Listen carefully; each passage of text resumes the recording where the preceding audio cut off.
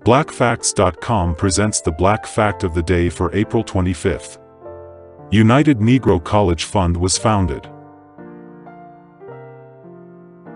It is as a philanthropic organization that funds scholarships for black students and general scholarship funds for 37 private historically black colleges and universities.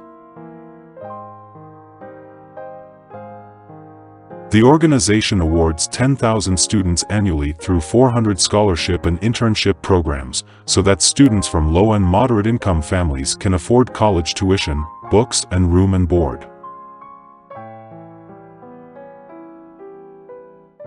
In 1943, Frederick D. Patterson wrote a letter to the Pittsburgh Courier proposing the creation of an alliance of black colleges that would raise money for their mutual benefit. Its first campaign received the support of many prominent Americans, including President Franklin D. Roosevelt and John D. Rockefeller, too. The collective effort raised $765,000, equivalent to $10 million today, which is three times what its member institutions had raised separately the previous year.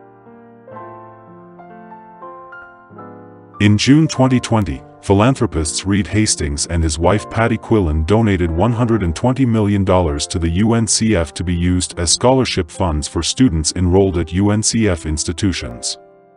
Their single donation is the largest in UNCF history.